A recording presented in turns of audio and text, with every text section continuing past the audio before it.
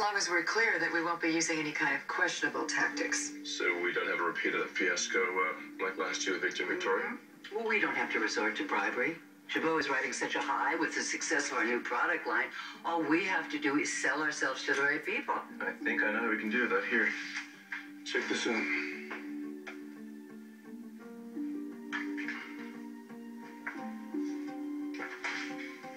There's a Mitsukoshi shareholders convention coming up. Right. So what we should do is make contact with as many as we can before the event and let them know that Jabot is the company that will best serve them in the future. The future of